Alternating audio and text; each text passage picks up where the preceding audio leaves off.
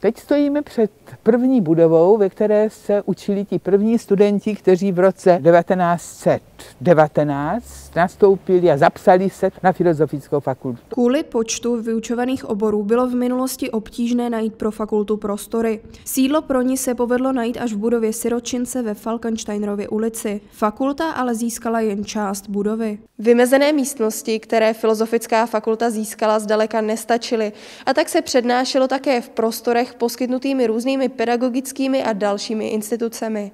Součástí stoletých oslav bylo odhalení pamětní desky bývalého děkana Arne Nováka, kde byly předány pamětní medaile osobnostem, jež se zasloužili o rozvoj fakulty, vědy a vzdělanosti. Jednou z oceněných je i profesorka Jana Nechutová. Než jsem byla na fakultu přijata, tak jsem rok docházela přibližně tady někam do těchto prostor. Jmenovala jsem to tenkrát Katedra starověké kultury. Z celkového počtu 44 děkanů Filozofické fakulty je právě profesorka Jana Nechutová jedinou ženou, která byla v minulosti zvolená děkankou fakulty.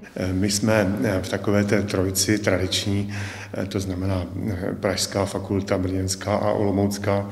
A myslím, že historicky i rozsahem naší činnosti jsme jaksi v tom užším, eh, užším kruhu, což mě snad oprávňuje k tomu, abych řekl, že to postavení je velice dobré, jsme silnou fakultou, jednou z těch, která eh, určuje trendy. Filozofickou fakultu nyní navštěvuje přes 11 tisíc studentů a zájem o studium se podle děkana fakulty zvyšuje.